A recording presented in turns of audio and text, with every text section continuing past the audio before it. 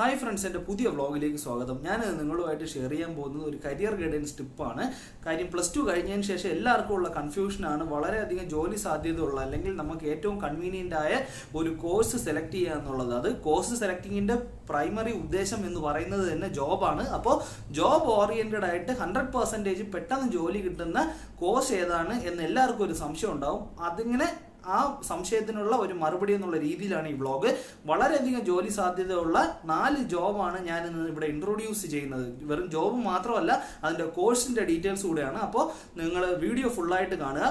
അതുപോലെ തന്നെ നിങ്ങൾ എന്റെ ചാനൽ ഇതുവരെ സബ്സ്ക്രൈബ് ചെയ്തിട്ടില്ലെങ്കിൽ ഉറപ്പായിട്ടും താഴെ കാണുന്ന റെഡ് കളർ സബ്സ്ക്രൈബ് ബട്ടണിൽ ഫ്രീ ആയിട്ട് സബ്സ്ക്രൈബ് ചെയ്യുക. കൂടെ ബെൽ ഐക്കൺ കൂടെ എനേബിൾ ചെയ്യുക. അതുപോലെ തന്നെ ഈ വീഡിയോ ഫേസ്ബുക്കിലാണ് കാണുന്നുണ്ടെങ്കിൽ നിങ്ങൾ പേജ് ലൈക്ക് ചെയ്യുക. അപ്പോൾ ഏതൊക്കെയാണ് ആ നാല് കോഴ്സും അതിന്റെ ഡീറ്റെയിൽസ് ഒന്ന് നോക്കാം.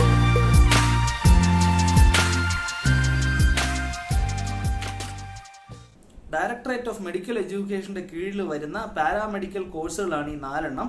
വളരെയധികം ജോബ് ഓറിയന്റഡ് ആയിട്ടുള്ള കോഴ്സായിട്ടാണ് ഇതിനെ കണക്കാക്കുന്നത്. കാര്യം നമ്മൾ കോമൺലി എല്ലാവരും പോകുന്ന ഡിഗ്രി അല്ലെങ്കിൽ ഡിപ്ലോമ അല്ലെങ്കിൽ എഞ്ചിനീയറിംഗ് എന്നുള്ള രീതിയിൽ ഈ കൺവേർട്ടായി പോകുന്നതിന് പകരം നമ്മൾ ജോബ് ഓറിയന്റഡ് ആയിട്ട് പ്ലസ് ടു കഴിഞ്ഞ ഉടനെ തന്നെ വെറും രണ്ട് വർഷത്തെ കോഴ്സ് പീരീഡിൽ നമുക്ക് എടുക്കാൻ പറ്റുന്ന ഒരു ഡിപ്ലോമ കോഴ്സാണ്.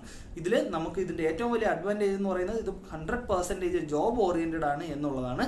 അതിലപ്പോൾ ആ നാല് ജോബ് എന്ന് പറയുന്നത് ഒന്നാമത്തത് ഡി ഫാം ആണ്. അതിൽ അത് ഡിപ്ലോമ ഇൻ ഫാർമസി ആണ്.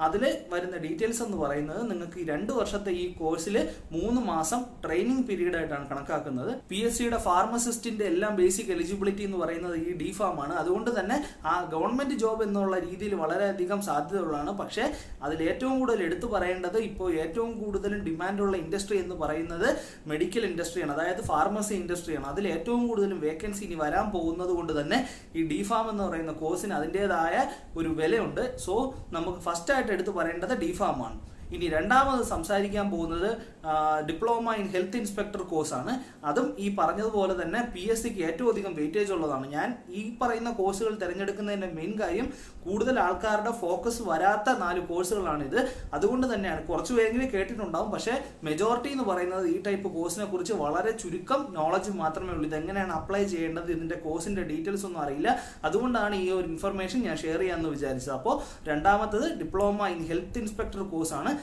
പി എസ് സിയിൽ വളരെയധികം സാധ്യതയും വളരെയധികം സീറ്റ്സും ഉള്ള ഇതാണ്. അപ്പോൾ നമുക്ക് ഡയറക്റ്റ് ആയിട്ട് ഈ കോഴ്സിന്റെ ഈ എലിജിബിലിറ്റി വെച്ച് ഡയറക്റ്റ് ആയിട്ട് അപ്ലൈ ചെയ്ത് ചെറിയൊരു വർക്കിങ്ങിലൂടെ തന്നെ നമുക്ക് ഈ ജോബ് കിട്ടാൻ ഉള്ള ചാൻസ് എന്ന് പറയുന്നത് വളരെയധികം വലുതാണ്. മൂന്നാമത്തെ നാലാമത്തെ കോഴ്സ് വളരെയധികം സിമിലർ ആണ്. സെപ്പറേറ്റ് കോഴ്സ് ആണെങ്കിൽ പോലും അതിൽ ആദ്യത്തെ എന്ന് പറയുന്നത് ഡിപ്ലോമ ഇൻ റേഡിയോളജിയും അടുത്ത നാലാമത്തത് ഡിപ്ലോമ ഇൻ ലബോറട്ടറി ടെക്നീഷ്യനുമാണ് ഇത് ഈ പറയുന്ന നാലെണ്ണവും പാരാമെഡിക്കലിൽ വരുന്നതാണ്.